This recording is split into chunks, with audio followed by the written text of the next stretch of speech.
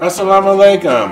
I'm Imam Daayiee Abdullah, the director of LGBT Outreach Program at Muslims for Progressive Values. In this video, we are going to talk about our understanding of gender and sexual orientation in the Abrahamic faiths, especially how LGBTQIA Muslims are characterized and marginalized within the religious communities during the different time periods and the collective anti LGBTQIA attacks in secular society today. In Judaism, Christianity, and Islam, all have similar viewpoints about male homosexuality and how that plays out in various parts of the communities. But when it comes to female homosexuality, there hasn't been a lot of discussion around the subject. In the Muslim community, this further gets complicated when we deal with transgender issues. That said, there are clear points throughout the Muslim history to give us enough information to come to conclusions about things that relate to sexuality and gender. When we look at gender and sexuality in the 7th century, we need to look at what the society was like. Prophet Muhammad lived in a patriarchal society. For example, we know from history that although his wife had her own business, she needed to go through men to run her business effectively. In fact, that is how they met because he was hired to run her business. With that type of society in mind, we can understand why lesbians have been left out by later generations in their quest to punish those who have sexual relationships outside of the traditional marriage between a man and woman. As far as we know, there have not been any executions or other punishments towards lesbians at that time. That said, it has been suggested by various scholars that there are four types of genders recognized by Islam, and they are male, female, hermaphrodites, and a rather confusing fourth gender. This fourth gender, which is termed mukhannath, can be similar to cross-dressers, male to female transgenders, or female to male transgenders. During the Islamic Golden Age, sexual and gender minorities flourished in various parts of the Muslim world.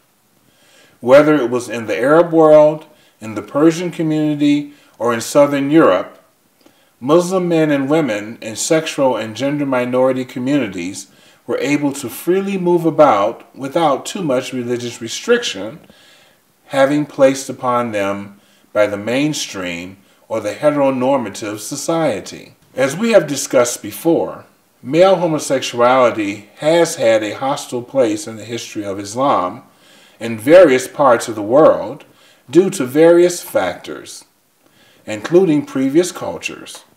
But there have been very little written about female homosexuality, which gave homosexual women a lot more room to roam, so to speak.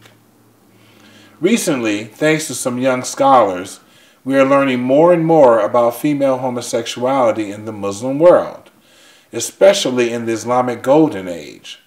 For example, we know during that period there was a culture of Ghulamiyyat, a phenomenon in which slave girls cross-dressed as boys, sometimes even with painted mustaches. This phenomenon began during the reign of Caliph Al-Amin, because his mother wanted to deter him from his homosexuality. But, of course, Zubaydah, the mother of Al-Amin, never intended to start a lesbian sexual revolution. This type of sexual revolution continued later into the culture, where it can now be seen throughout Arab literature of that period.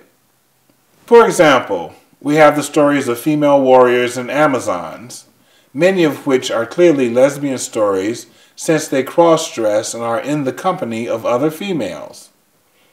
The all-female Isles of Wak el Wak, for example, is a story that is buried in tales about men. On the other hand, other females in other stories, such as the ones found in the epic of Dat el Hima, actually voice their lack of interest in men. Similarly, lesbian or lesbian like behavior in this period has been extensively covered in the Arab literature. For example, one Abbasid historian in the 10th century wrote about famous female slaves who were entertainers for other women of high class society.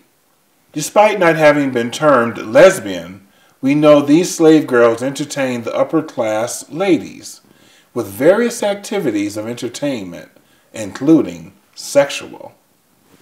In the modern times, gender played more of an issue for lesbian women than did their lesbianism.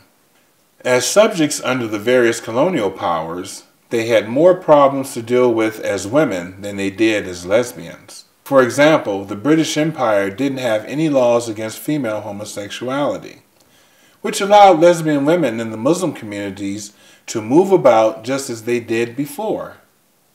However, because of the restrictions placed upon women, they now had to deal with other issues. As the modern times continues, we see more and more gender inclusion in Islamic texts. It is not just texts anymore, it is also some amazing things happening in some places. In the 20th century, for example, something interesting has happened in Iran after the overthrow of the Shah. The Shia leaders instituted laws in place to protect transgender people despite Iran being very homophobic and having been accused of executing many gays. Iran, having been singled out as one of the best countries for trans Muslims, has to do with the fact that the country allows for transgender people to legally change their sex, both in their bodies and in their documents. Unfortunately, what has been great for the transgender community of Iran has become tragic for the male homosexual community of Iran. Society has moved in the opposite direction when it comes to male homosexuality and a lot of male homosexuals have begun to take the route of sexual reassignment surgery in hopes of finding love in their lives. This tragedy, of course, does not take away the good news for transgendered people in Iran, but it does highlight the intersectionalities of those issues in our communities. In conclusion, we must recognize these communities come from patriarchal backgrounds. We have talked about before the fact that male homosexuality had long been seen as something detrimental to the growth of the community. But when we are looking at female homosexuality, things are not as clear cut. As we have seen, female homosexuals were able to get away with a lot more than their male counterparts, mainly because their lives were not seen as being a threat to the future growth of the community. On the other hand, when we look at the issue of transgender persons, we can see how their struggles are very much intertwined with those of the homosexual community. This type of common interest should lead males, females, male homosexuals, female homosexuals, and transgender persons to work together for a common cause.